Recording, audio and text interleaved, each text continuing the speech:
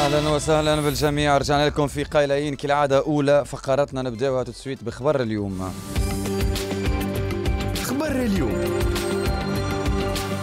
خبر اليوم. اليوم كما هو منتظر يعني من النشرات التابعة للمرصد الوطني المعهد الوطني للمراصد الجوي. تحديدا اليوم 4 17 أوت تونس تسجل أرقام قياسية الحقيقة في درجات الحرارة اليوم مع ظهور الشهيري ويقول المعهد الوطني للرصد الجوي أنه الحرارة مرتفعة تقريبا اليوم في كل مناطق الجمهورية وتتواصل الحرارة مرتفعة جدا بأغلب الجهات خلال هذا اليوم الأربعاء كما قلت 17 أوت. تتجاوز تقريبا المعدلات العادية بفارق يتراوح بين 7 و12 درجة وتتراوح القصوى بين عامة بين 39 و 45 درجة. اليوم في تونس وتصل حتى محليا إلى 47 درجة اليوم تونس الكبرى لقاو فيها درجة الحرارة وصلت 45 درجة بنزار 43 نابل كيف نابل 38 درجة زغوان 43 درجة باجة 44 درجة جندوبة 45 درجة الكاف 41 درجة سليانة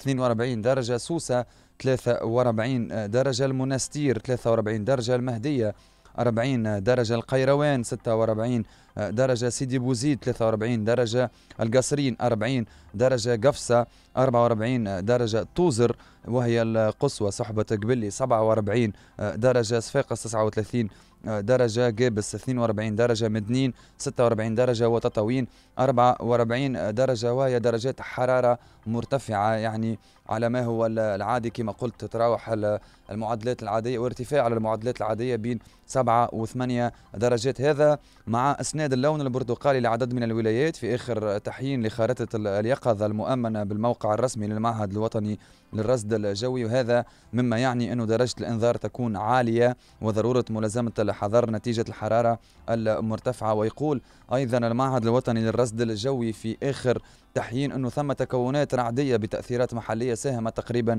في نزول أمطار متفرقة ومحلية بكل من بنزرت وباجة. وحاليا درجات الحرارة بين 42 و 47 درجة مع ظهور الشهيلي باستثناء الوطن القبلي الساحل وصفاقس حيث كانت تقريبا درجات الحرارة بين 33 و 38 درجة. ردوا بالكم رواحكم للناس الكل اليوم مازالت متواصلة درجات الحرارة باش تبقى آه، متواصلة طيلة هذا اليوم وهذه الليلة. آه، أيضا في انتظار أنه غدوة يعني تنخفض تدريجيا وترجع للمعدلات العادية متاعها يوم الجمعة إن شاء الله. ونسأل الله السلامة للجميع كانت هذه خبر اليوم. خبر اليوم.